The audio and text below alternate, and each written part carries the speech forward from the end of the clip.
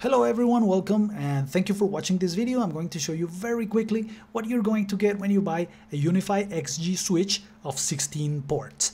Uh, we're going to unbox very quickly this device. As usual, is very, very nice to unbox these devices from UniFi. This video is going to be part of a group of videos that is going to be dedicated to the 10 gigabit networks and high performance networks that we can very quickly set up with the use of these devices from UniFi. Aggregation switches like they call them very simple setup. One, two, three is just as simple as connect, adopting the network controller as you would with any access point or switch. As you can see right here, we're gonna be able to use 12 SFP ports and four RJ45 copper-based um, 10 gigabit ports. So actually what we're going to get right here is 180 gigabit per second switch. This one is the console connection too, in, also in RJ45. And something very cool uh, that we have seen plenty uh, enterprise grade routers and switches is the dual connection in the back either uh, direct current or alternate current okay? So you're going to be able to use uninterrupted power supply units in the back. Right here our kit for 10 gigabit don't forget we can use uh, category 7 or category 6 as UniFi suggests OM3 fiber optics cable. The, this is in order for you to get the real power of 10 gigabit. And right here, two options. The module of SFP Plus for uh, fiber optics or for RJ45 copper modules, which are going to let you connect um, category 6 cabling to a 10 gigabit uh, backbone network. So it is going to add up to those four ports that are included in the switch. So it is going to let you have like a customized um, mixed technology of communications in your network, fiber optics and copper modules. Right here, we're going to show you very quickly um, how you can interact with the UniFi Dream Machine Pro, a very powerful gateway from UniFi. Um, up to date maybe is one of the most powerful uh, gateways it has and we're going to interact with this 24 port switch power over ethernet in this case and this US 8 8 switch gigabit switch which is uh, actually very versatile because it has also two SFP ports that are gonna give you um, an uplink of one gigabit. Right here, we're going to free uh, one of the ports of the SFP Plus ports in the UDM Pro to use in this case with OM3 cable. Uh, remember that this module support hot plug and that you cannot only connect the fiber SFP Plus module, but also the RJ45 copper SFP modules that, by the way, are gonna give you a maximum length of 30 meters over Cat6 cabling. Very important. A third option, and very used by the way, is the DAC or direct attached copper.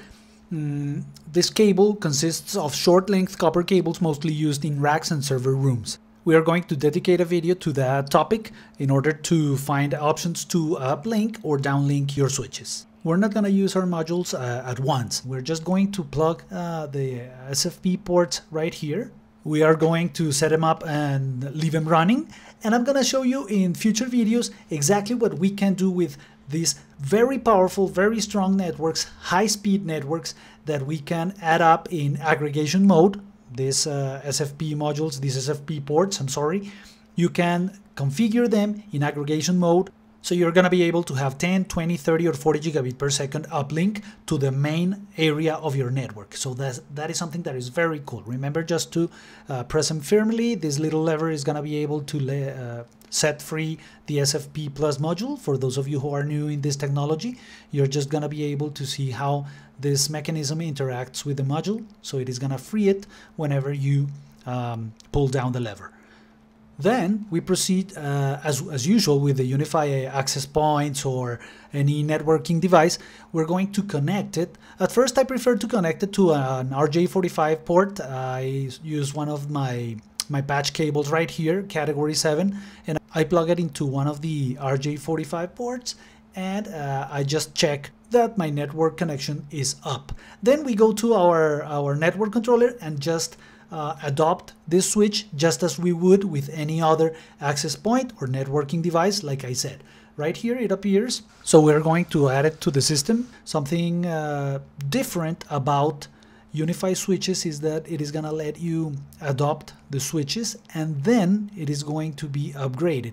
It used to be the other way around that, that you could you were able to update it before um, adopting the device. In the meantime, while this device is adopted and updated, I'm gonna tell you that this one is the first of many videos that we're going to dedicate to the 10 gigabit per second networks. Uh, this is a technology that has become more and more available every single day as more companies have been able to lay cable uh, in category 6 and category 7 which is a big advantage in terms of 10 gigabit networks. Optic cables uh, prices have also dropped which is a big advantage in terms of implementing 10 gigabit networks. So adding it up this is a 180 gigabit per second uh, switch and it is going to let you concentrate with link aggregation and very easy management a robust enterprise grade backbone of your network Let's continue. Once we are ready and our device is ready and has been adopted, then we start plugging our uh, OM3 optic cables.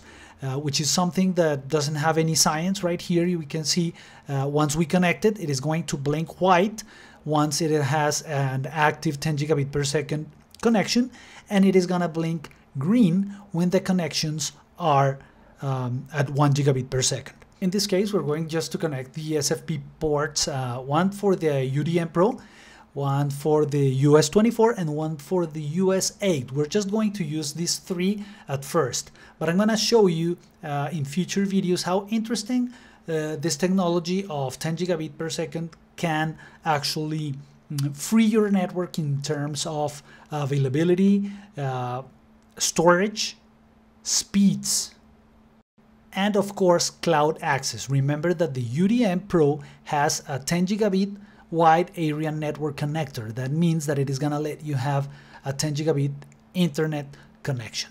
Copper cables, as UniFi states, you can use category 6 or category 7. If you're just in the decision making of choosing which one of the cabling you're going to use, I would recommend strongly of course, if your budget permits it, to use category 7. And don't forget that not less important is to choose OM3 optic cables. This is very important as uh, OM3 is the standard for 10 gigabit per second connections. So thank you very much for watching. Don't forget to visit our storefront in Amazon where you're going to find a lot, a lot of devices that are readily available for you to implement on your networks, high performance networks in this case. Thank you very much. Don't forget to subscribe and see you next time.